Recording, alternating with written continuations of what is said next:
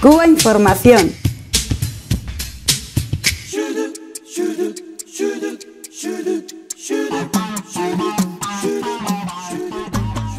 El presidente Raúl Castro ha estado en el Vaticano, se ha reunido con el Papa, también ha estado en Italia, ha estado en Moscú, también hemos tenido eh, recientemente la visita del presidente francés, François Hollande, en Cuba, y bueno, de todas estas cosas y de alguna más por ahí vamos a, hablar en esta primera mesa. Así que voy a pasar la palabra a mis compañeros.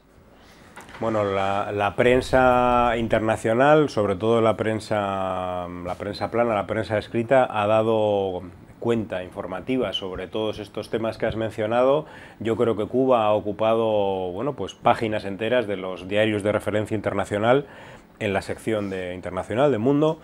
Mm, bueno, no siempre de la forma que a nosotros nos gustaría, y con, al menos con un mínimo de equilibrio y objetividad, pero sí es cierto que de alguna manera está mostrando en estos momentos eh, esta situación, esta serie de encuentros, que Cuba es un actor fundamental político en el mundo tal como se mueve hoy, ¿no?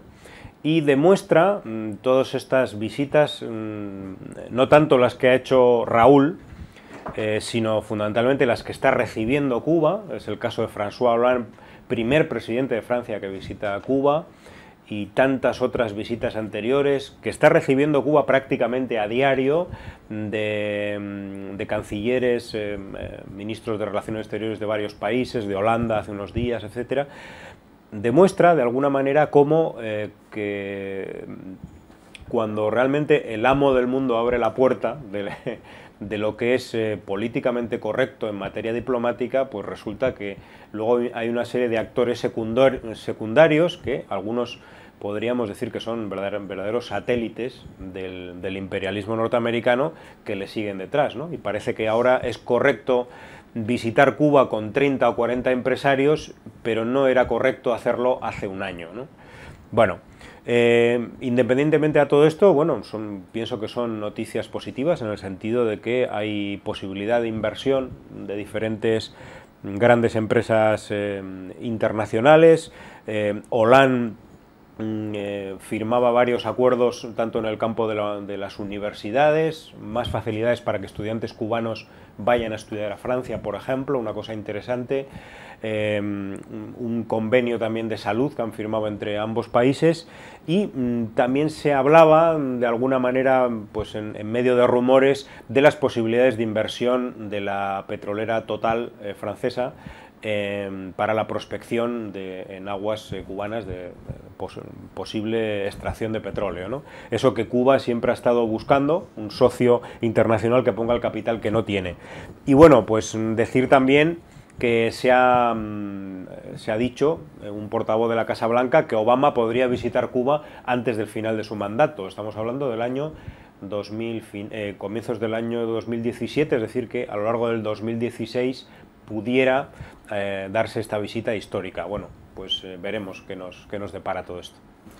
Yo, yo, la verdad que quería destacar dos cosas dentro de esta vorágine internacional en la que parece estar metida Cuba ahora mismo, ¿no? que, que todos los focos miran a ella y lo vemos en medios de comunicación que han invisibilizado Cuba durante muchísimo tiempo y justamente ahora pues la vemos en, la portada de todos ellos.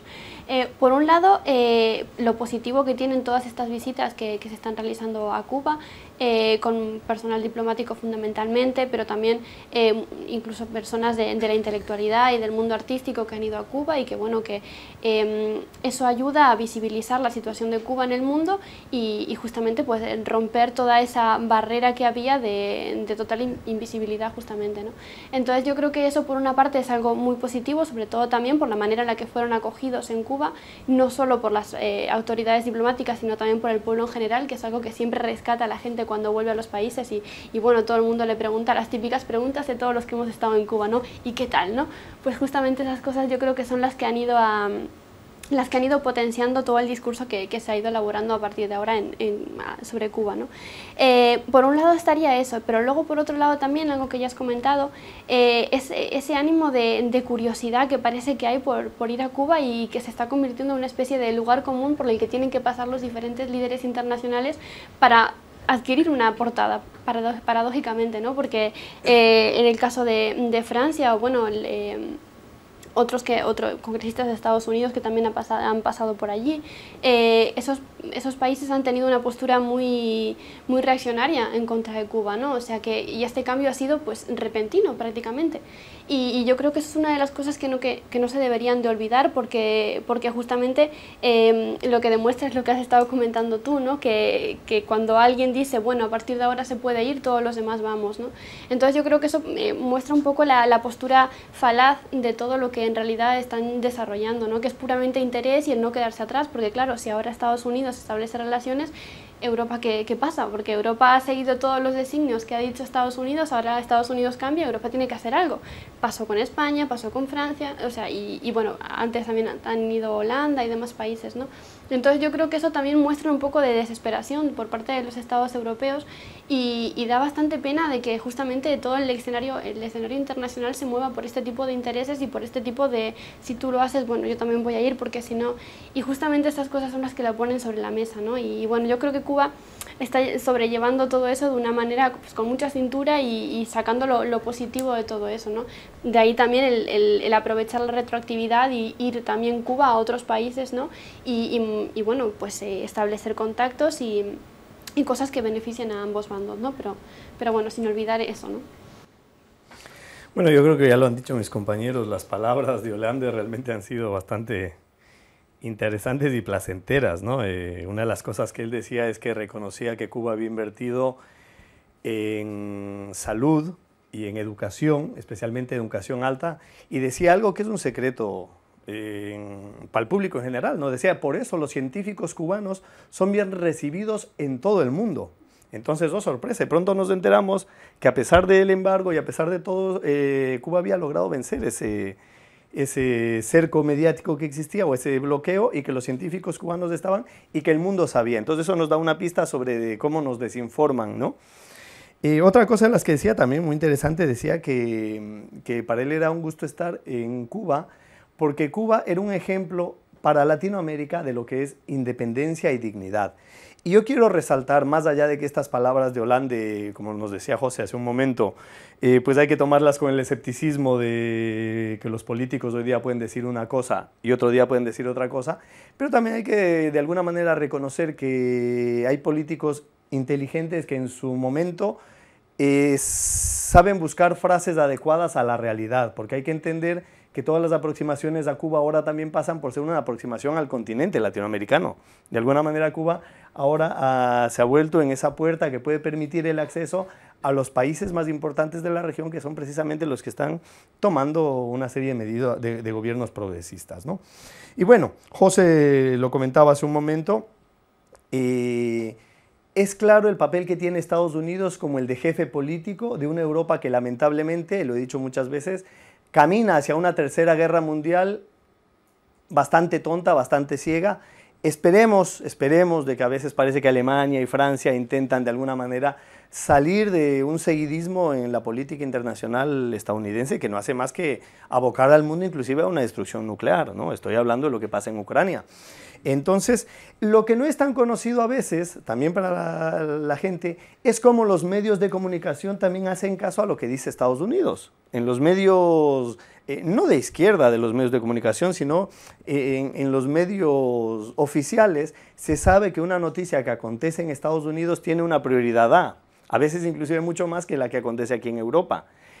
A y B son Europa y el tercer mundo y todos los otros países pues son una historia solamente anecdótica cuando pasa un accidente, una cosa un poco cómica, ¿no? Entonces esto queda en evidente también en lo de los medios de comunicación, por ejemplo, cuando yo veía la televisión española y la periodista, la reportera, decía, eh, Hollande le hizo el favor a Fidel Castro de visitarle.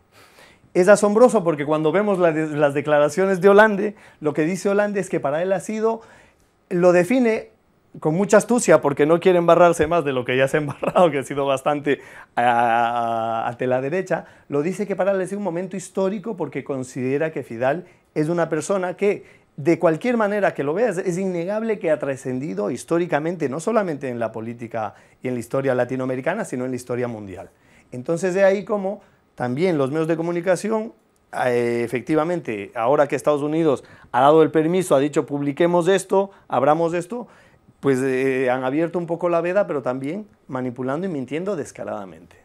Lo que significa para el pueblo cubano esta nueva coyuntura, que es algo en lo que, bueno, lo que yo pienso mucho, ¿no? en, en cómo el pueblo cubano está recibiendo todos estos cambios que se están dando eh, en el mundo con respecto a Cuba, el cambio de la política norteamericana y como ya ustedes muy bien han dicho, pues el cambio de todos estos acólitos eh, con respecto a Cuba. Hace uno que está en contacto con, bueno, con la gente que está en la isla, que está en contacto a través de Facebook, a través de los correos electrónicos, pues estoy escuchando, por ejemplo, por poner un ejemplo, a amigos que tienen un restaurante ahí en mi pueblo, ahí cerca de casa y me, han dicho, por ejemplo, ayer, eh, bueno, tuvimos un restaurante lleno y todos los que estaban eran norteamericanos. O sea, que eso es algo que, habla a las claras de que hay un cambio, de que los ciudadanos norteamericanos de una manera o de otra se las están agenciando para ir a Cuba. Y bueno, y eso desde luego está incidiendo directamente sobre las economías de todas esas personas que están trabajando en Cuba eh, por cuenta propia. Y pues desde luego están muy contentos, eh, ven prosperidad, eh, ven un futuro alentador para, para ellos y para toda la nación. Y esto es lo que yo quería resaltar como algo importante. Ya hablando de la visita de Raúl Castro también al Papa, que ha dado mucha, mucho, ¿no? Inclusive pensar que uno de los líderes de la revolución se vuelva un católico practicante, ¿no? Pero quería eh, hablar ahí de los símbolos, han sido muy importantes, ¿no? Eh, Fidel, bueno, es, perdón, Raúl Castro es habitual que lleven presentes. Castro lleva una obra de un artista cubano, no recuerdo el nombre, sé que es Cacho, es su... Eh, ¿no? Y es una, eh, bueno, y la información la saca Cuba Debate del país, eh, y comenta que es una, un cuadro grande que representa una, una, cruz, un niño al frente rezando, pero que básicamente hace un llamado o hace una relación al drama africano, del continente africano, eh, con toda la gente atravesando en pateras, muriéndose y todo, todo, el, bueno, todo lo que hay atrás de eso, ¿no? Y acordémonos de que, eh, una vez más, los medios de comunicación, cuántas veces han magnificado un drama, que es un drama de uno, de dos o de los balseros cubanos que sean, pero muchas veces han hecho una visión y una lectura completamente diferente de este sí que es un drama de todos los días y que estamos hablando de miles de personas, ¿no? Ese como un... Y también me parece bonito el gesto también simbólico de Francisco que le devuelve el regalo, le da una cruz de algún santo, que es un santo que eh, dice él que acostumbra a dar a los presidentes de diversos países porque es un santo que protege a los pobres, pero que al mismo tiempo habla de la dignidad de la pobreza. Entonces esperemos, a veces con el Papa también no sabemos qué pensar, pero esperemos que realmente esta serie de cambios que están dando en el mundo impliquen precisamente un retornar de la, eh, la política, de la, de la sociedad en sí, hacia la protección, hacia la igualdad con la persona que tiene más problemas y especialmente hacia la dignidad del ser humano.